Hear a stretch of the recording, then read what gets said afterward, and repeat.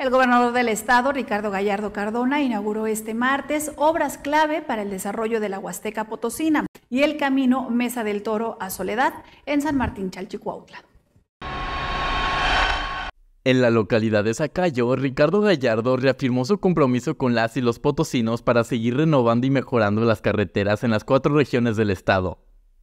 Su objetivo es avanzar en el desarrollo económico, la atracción del turismo y mejorar la movilidad de las familias. La rehabilitación del camino Escalanar-Zacayo contó con una inversión pública de más de 35 millones de pesos, que ofrece mejores oportunidades para los habitantes de las comunidades como Zacayo, Tlacohuaque, Tenzoquilillo, Coaxilotitla y Tancuilín, al conectarse con la colonia Escalanar. Además, el gobernador está modernizando caminos, calles y bulevares en las cuatro regiones del estado. Este 11 de junio y con una inversión de 15 millones de pesos, se inauguró el camino Mesa del Toro en el municipio de San Martín, Chachicuautla, dentro de la Huasteca Potosina, mejorando significativamente la infraestructura de la región.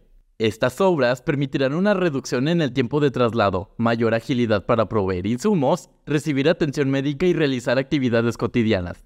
También fortalecerán la capacidad de la región para recibir turismo nacional e internacional.